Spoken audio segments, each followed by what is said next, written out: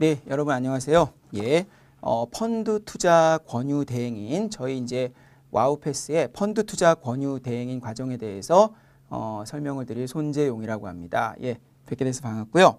예, 일단 그 펀드 투자 권유 대행인이라 함은 예, 어, 펀드죠. 한마디로 이제 어, 펀드를 팔 수 있는 대행인이다 이렇게 볼, 볼 수가 있겠습니다. 그래서 이제 직원이 아니면서 그쵸? 어, 펀드 투자를 권유할 수 있는 대행인이다. 이제 이렇게 볼 수가 있고요.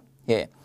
어, 그리고 이제 시험 같은 경우는 1년에 두 번 봅니다. 두 번 보고요. 예. 어, 두 번의 응시를 하면 되, 할 수가 있고요. 그리고 합격 기준 같은 경우는 합격 기준은 일단은 과락은 40%가 과락입니다. 그래서 과목별로 정답 비율이 40% 미만이면 과락이 되는 거죠. 40% 이상이면 과락은 아닌 거고요. 그 다음에 전체가 100문제입니다. 그래서 100문제에서 어 60%, 60문항 이상인 경우가 합격이 된다. 이제 이렇게 보실 수가 있겠습니다. 예. 그러면 일단 그 시험 구성과 배점은 어떻게 되는지 한번 보도록 하시죠. 예. 어, 여기 보시면 이제 제1과목 펀드 투자가 35점입니다. 그리고 2과목은 투자 권유가 45점. 예. 한 점이 이제 한 문항씩입니다. 그다음 3과목 부동산 펀드는 20점입니다. 이렇게 합쳐서 이제 결국 100점이 되는 건데요. 예.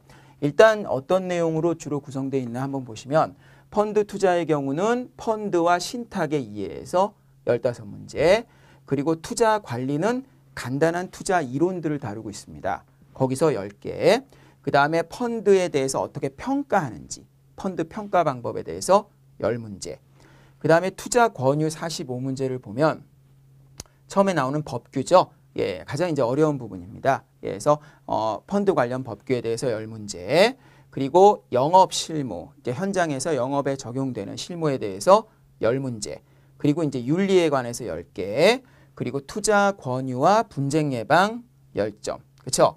그리고 투자 권유 사례에 대해서 뭐 간단한 재무 설계 사례를 보게 됩니다. 요거 다섯 점 이렇게 해서 45점으로 되어 있고요.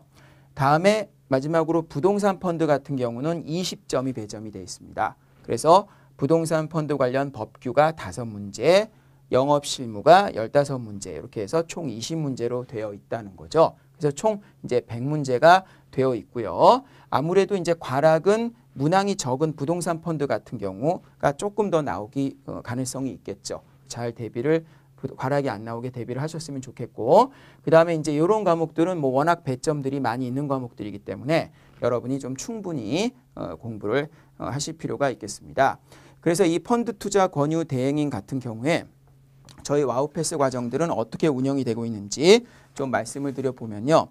어, 일단 이제 저희 회사 같은 경우는 이런 이제 금융 자격증, 이런 자격증을요, 어, 약 한 10, 17년, 예, 17년째 해오고 있습니다. 계속해서 어 이제 굉장히 오랜 기간을 해오고 있고요. 어 그 다음에 이제 해오는 것도 뭐 약간 약간씩 한 게 아니라 아주 본격적으로 한 지가 그렇게 오래됐습니다. 예, 그리고 어 이쪽 분야에 있어서는 뭐 가장 어 규모도 크고요. 그 다음에 뭐 저희 책들도 가장 어 많이들 보고 있고 가장 많이 팔리는 어 책이 되고요. 어 동영상 강의 그 고객도 굉장히 많은 그런 회사다. 이렇게 말씀드릴 수가 있겠습니다. 어, 단연간 노하우가 있어서 어, 이제 굉장히 오랜 기간 강의를 많이 해오신 경험 많은 선생님들로 구성되어 있고요.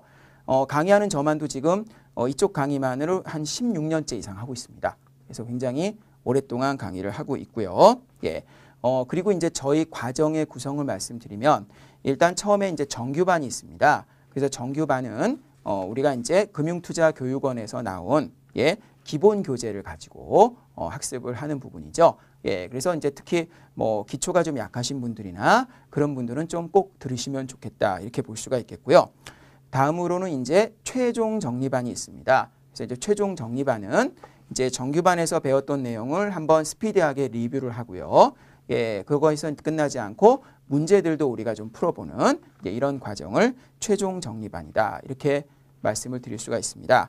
어, 그거 위에, 이외에도 합격을 위해 또 반들이 있는데요. 고내 이제 저희 보면 어, 일일 특강이라 그래서 이제 가장 거기서 또 중요한 내용을 추려서 압축해서 좀 빠른 시간에 한번 강의를 쭉 돌, 들, 들을 수 있게 그런 하, 어, 과정이 또 있고요.